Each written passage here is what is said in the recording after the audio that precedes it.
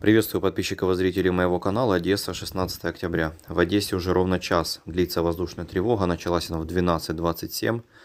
На данный момент очень много информации о том, что над Украиной летят ракеты и дроны «Камикадзе».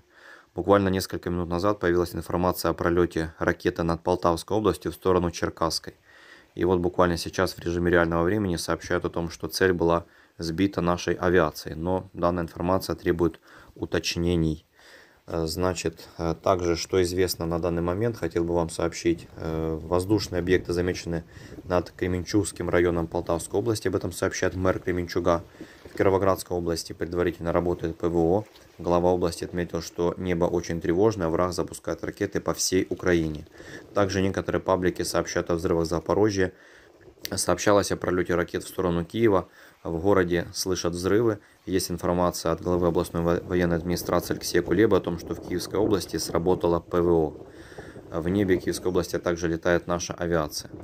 В Хмельницкой области замечены дроны «Камикадзе» по направлению на Западную Украину. Глава областной военной администрации Ивано-Франковской области предупреждает о огромной угрозе новых ракетных ударов по области.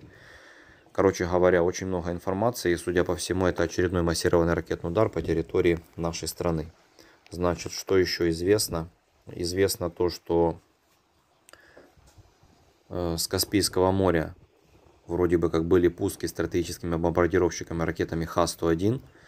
Вот, и также зафиксирован взлет МиГ-31 из Российской Федерации с ракетами типа «Кинжал». Но, что касается «Кинжала», наверное, данная информация не соответствует действительности. Почему? Потому что если бы кинжал выпустили, то данная ракета не сбивается, она бы уже куда-то прилетела, на гиперзвуковая, уже бы где-то бы сообщали о прилете.